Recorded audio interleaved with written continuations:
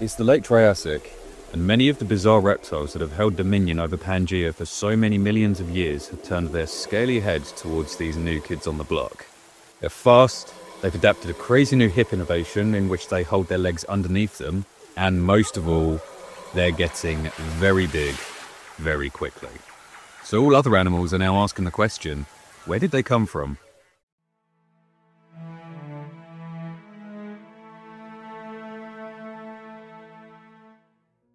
I want to ask you guys a question. Had I not planted a certain group in your head with the title of this video, what's the first dinosaur that comes to mind for you? We all have our favourites for sure, but can anyone objectively say that one is more important than any others? Well, I'd say yes.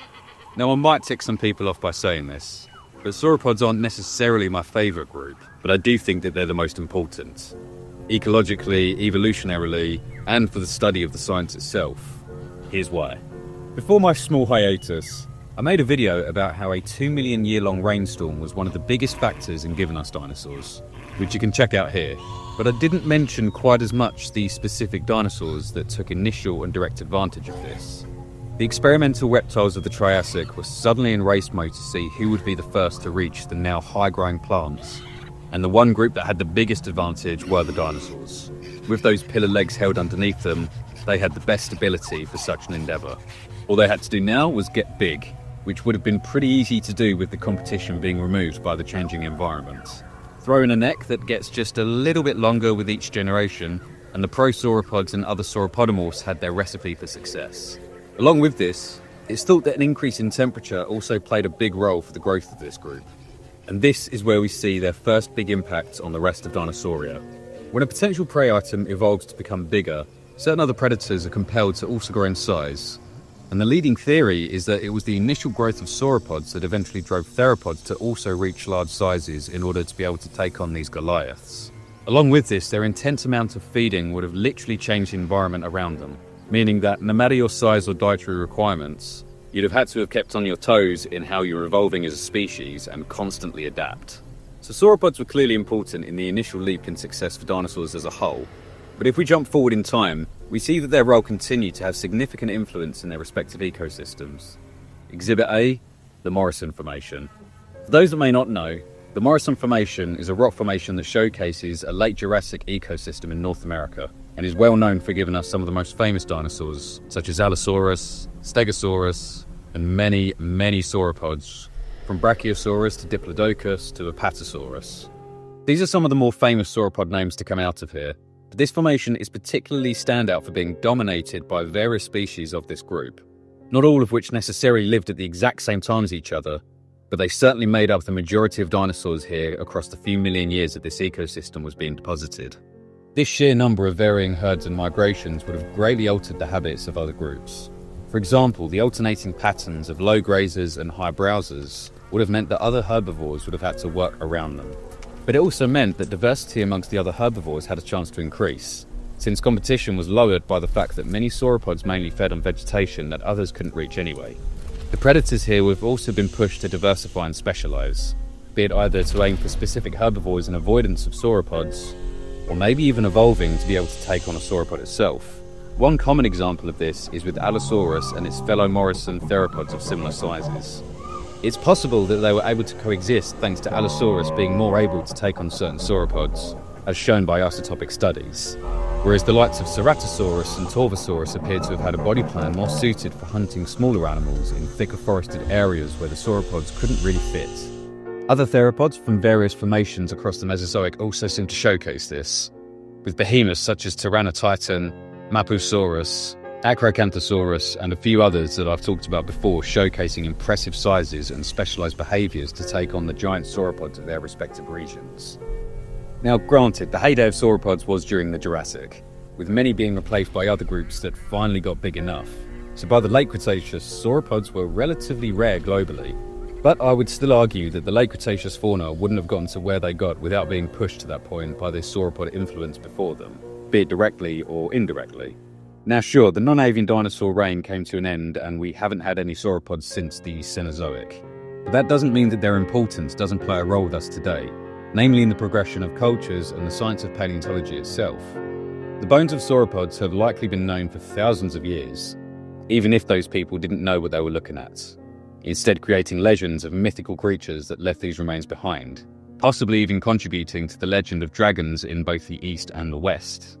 By the late 19th century, however, it was finally known that these were strange, giant long-necked reptiles belonging to Dinosauria, and such a dramatic and alien image captured the world's imagination. Sauropods very quickly settled themselves into pop culture from there, whilst their study pushed forward our understanding of dinosaurs and the Mesozoic worlds. This group has redefined how we understand simple size in animals for a start, with ways of working around such sheer mass being discovered. One of those ways also contributed to the cementing of the relationship between non-avian dinosaurs and birds. Ever heard of the old wives' tale that Stegosaurus had two brains? One in the head and one in the hips? Well, it didn't, but the cavity that was noted in the pelvis that was to have stored a second brain, or at the very least some sort of neural network, was found to have stored something else when a whole network of these cavities were found in sauropods.